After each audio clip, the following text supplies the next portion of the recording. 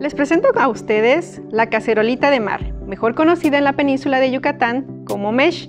Y bueno, pues es una especie que data desde hace 450 millones de años y sus antecesores llegaron a convivir con los dinosaurios. Es una especie que se le conoce como pancrónica. ¿Qué quiere decir esto? Bueno, pues que ha conservado sus rasgos ancestrales por estos millones de años.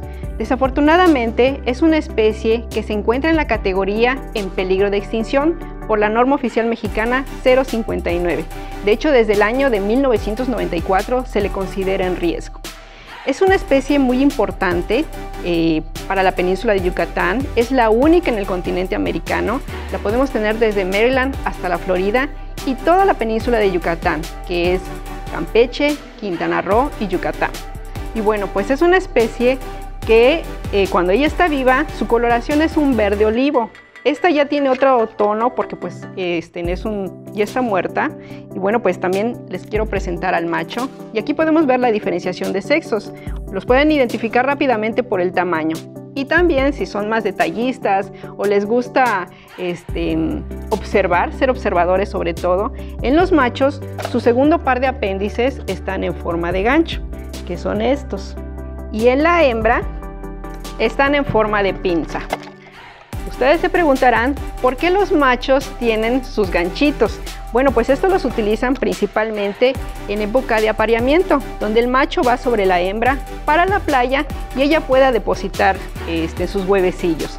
Es más o menos el ciclo reproductivo como las tortugas, ¿sí? Ella va a acabar un hoyo de aproximadamente 25 centímetros de profundidad y va a depositar aproximadamente 2.000 huevecillos, principalmente en luna llena. Y bueno, pues mucha gente a veces las confunde y piensan que es su hijo o su bebé. No, es el macho que le está acompañando para el, apareamiento.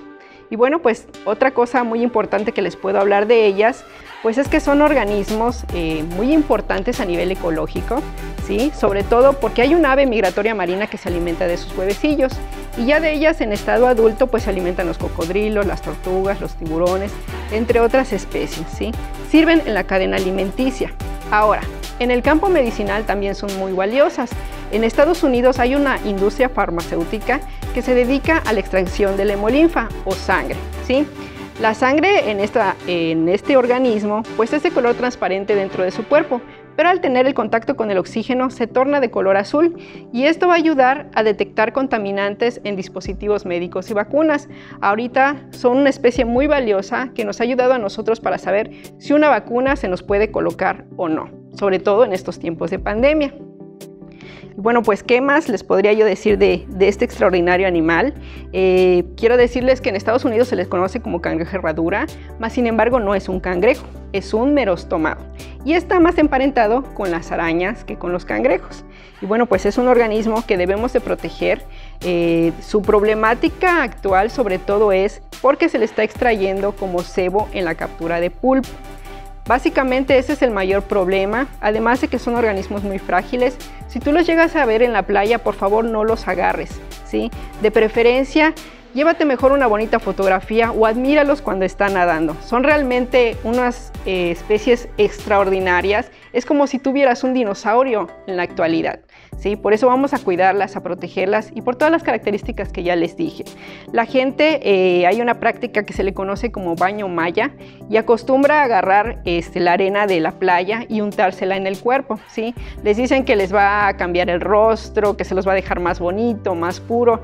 No, no va a pasar nada de eso, ¿sí? Más sin embargo, ustedes pueden estar dañando, unido, los huevecillos que se encuentran dentro de él.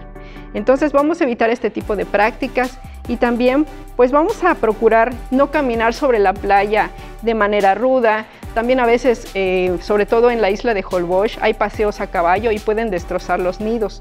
Y no solamente de la cacerolita, también de las tortugas y de otras especies.